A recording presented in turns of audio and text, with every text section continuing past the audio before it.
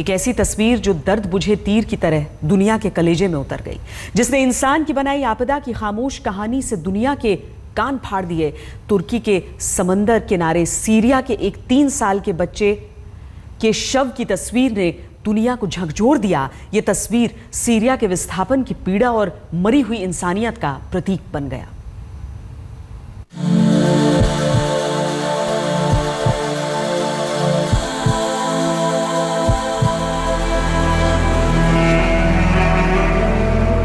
तस्वीर आत्मा जख्मी कर देती है।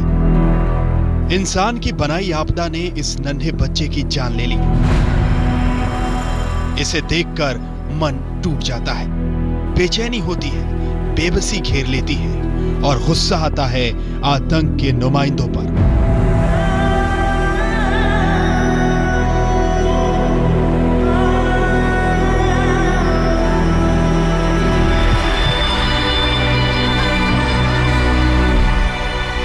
साल का एलन कुर्दी अपने पाँच साल के भाई गालिब और माँ रेहाना के साथ भूमध्य सागर में डूब गया। सीरिया में छिड़े गृह युद्ध से बने खराब हालात ने इस परिवार को भी अपना वतन छोड़ने पर मजबूर कर दिया।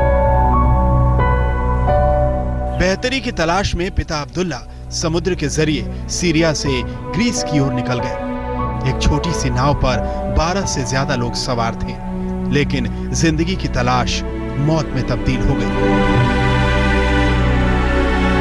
एलन कुर्दी गालिब और रेहाना समेत 12 लोग तो डूब गए। बस अब्दुल्ला बाकी बचे। पूरी दुनिया के सीने में एलन का दर्द नहीं समा रहा। शायद समंदर की तेज लहरों ने भी इंसानियत को आईना दिखाने के लिए एलन को तुर्की के बोडरम शहर के किनारे पर ला फेंका।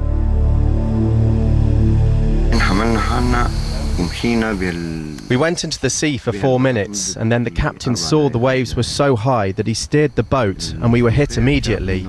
He panicked and dived into the sea and fled.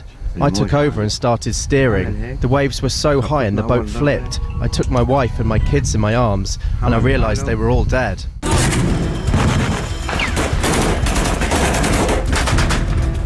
Syria में उपजे आतंक के हालात से बचने के लिए ही अब्दुल्ला अपने परिवार समेत यूरोप जाने की फिराक में थे। इसके लिए अब्दुल्ला ने दो बार तस्करों को पैसे भी दिए ताकि वो उन्हें समंदर पार करके तुर्की पहुँचा दें, जहाँ से वो यूरोप में दाखिल हो सके। लेकिन परिवार बच नहीं सका। मुँह पड़े एलन कुर्दी की इस तस्वीर ने पूरी दुनिया को झकझोर कर रख दिया है। तस्वीर के सामने आते ही पूरी दुनिया में बहस छिड़ गई। इस एक तस्वीर ने दुनिया के सबसे बड़े विस्थापनों में से एक को देखने का नज़रिया बदल दिया। एलन कुर्दी सीरिया से विस्थापन के दर्द का प्रतीक बन गया है।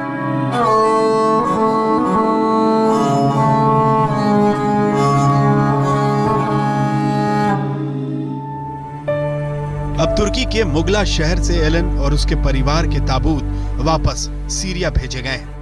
अब्दुल्ला जिस परिवार की खातिर सीरिया से निकलना चाहते थे, अब उसी परिवार को दफनाने सीरिया लौट रहे हैं। समंदर किनारे दुनिया को खामोश करती इस उदास तस्वीर ने दर्द का अथाह समंदर छोड़ दिया है। एलन, तुम्हें इंसानों ने मार डाला। इंसानियत बचा नहीं पाई। एक गुमचा वक्त से पहले मुरझा गया। गुच्चा मुस्कुराता वक्त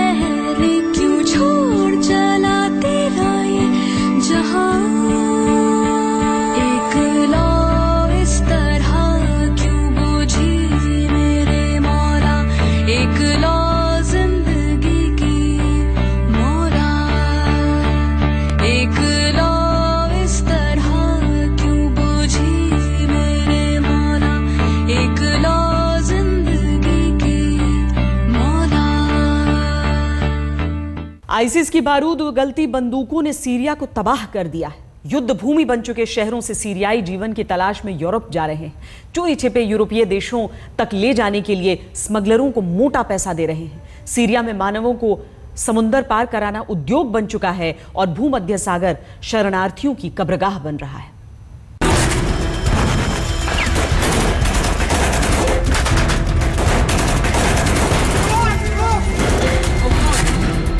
सीरिया के शहर युद्ध का मैदान बन गए हैं। किस घर पर कब बम आ गिरे किसके सीने को चीरती गोलियाँ कब निकल जाएँ, कोई नहीं जानता।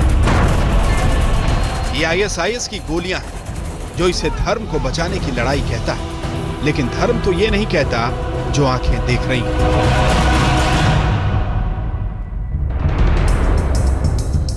धर्म के नाम पर अपने मकसद साधने वालों ने एलन की जान ले ली। सीरिया के हालात अगर सही होते तो एलन अपने आँगन में खेलता लेकिन आईएसआईएस के चलते ये हो नहीं सका और इनकी गरजती बंदूकों के डर से अब्दुल्ला अपने परिवार समेत समंदर लागने का इरादा कर बैठे लेकिन आगे जो हुआ उसने इनकी खूबसूरत सी दुनिया उजाड़ दी This picture, it made me very sad. It made me also very angry. Because not only you have the plight of the refugees leaving the countries, wartime zones, etc., but you also have irresponsible human criminal uh, traffickers.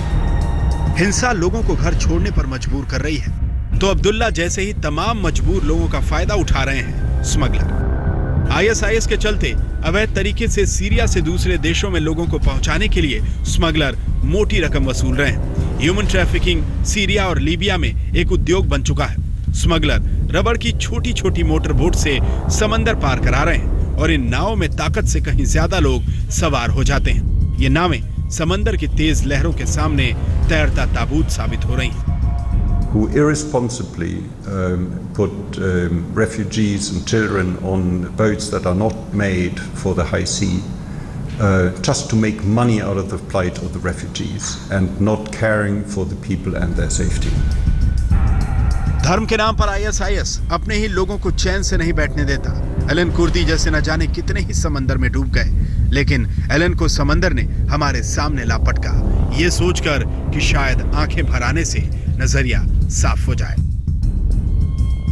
लेकिन इंसानों के गले काटने वाले ISIS को रहम कहा? वो तो दहशत के साम्राज्य को बढ़ाने का इरादा पाले बैठा है। बीते महीने आईएसआईएस ने यह मैप जारी किया था जिसका मकसद 2020 तक नीली धरती पर अपना काला साम्राज्य फैलाना है। आईएसआईएस मिडिल ईस्ट उत्तरी अफ्रीका यूरोप भारत और श्रीलंका तक पहुँचने के मंसूबे पाले बैठा है। ISIS is a huge threat and challenge not only to South Asia, but I think to everybody who is interested uh, in fighting terrorism. दुनिया पर राज का खाब सजाए बैठा आईएसआईएस अपने ही मुल्क के लोगों को विश्वास में नहीं ले सका अमन नहीं बहाल कर सका। उसके जुल्मों से पहले भी लोग ट्रकों और बसों में लदकर ट्रेनों में लदकर भाग रहे थे। पहले भी समंदर में कई नावें डूबी हैं। लेकिन एलन कुर्दी कभी नहीं आया था और आईएसआईएस के डर से शायद ऐसी धरती पर कभी आए भी नहीं। दिल्ली में स्मिता शर्मा के साथ आज तक ब्यूरो। सीरिया, लीबिया और कई अफ्रीकी देशों से बड़े पैमाने पर शरणार्थी यूरोप का रुख कर रहे हैं। यूरोप के कई देशों ने शरणार्थियों के आने पर पाबंदी लगा दी है। एलन कुर्दी की मार्मिक तस्वीर सामने आने के बाद से दुनिया भर में आइडिया ऑफ़ यूरोप पर बहस छिड़ गई है और ये भी कि इंसानियत का आइडिया कहाँ मर गया।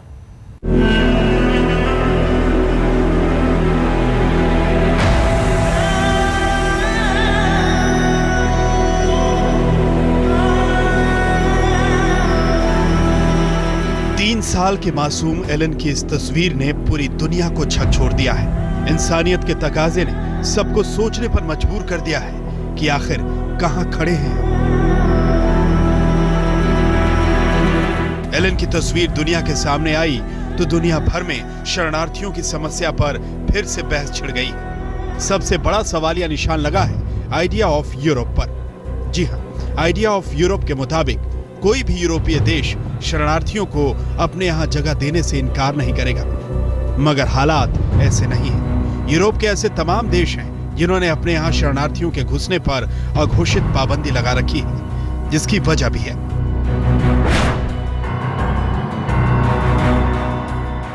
यूरोपीय देशों में साल दर साल शरणार्थियों की तादाद बढ़ती जा रही है। इस साल जुलाई तक करीब चार लाख अड़तीस हज़ार लोग यूरोपीय देशों में शरण मांग चुके हैं। वहीं साल 2014 में पाँच लाख इकहत्तर हज़ार लोग यूरोपीय देशों में शरण ले चुके हैं। पनाह मांगने वालों की यही तादाद यूरोपीय देशों के लिए संकट का सबब बन गई है। खासतौर पर ऐसे देशों के लिए जिन्होंने कॉमन बॉर्डर पर पासपोर्ट और दूसरे किस्म के बॉर्डर कंट्रोल हटा लिए हैं।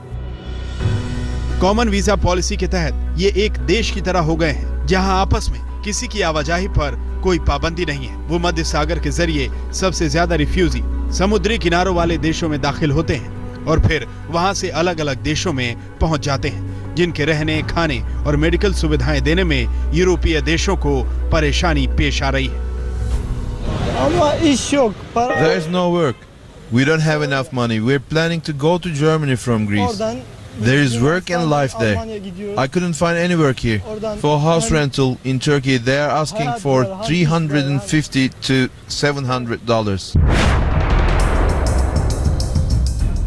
सबसे ज़्यादा रिफ्यूजी पश्चिमी एशिया और उत्तरी अफ्रीका के देशों से आ रहे हैं जहाँ काफ़ी वक्त से गृह युद्ध छिड़ा है। सबसे ज़्यादा लोग सीरिया और लीबिया से यूरोप में पहुँच रहे हैं जहाँ आईएसआईएस ने लोगों का जीना मुहाल कर रखा है।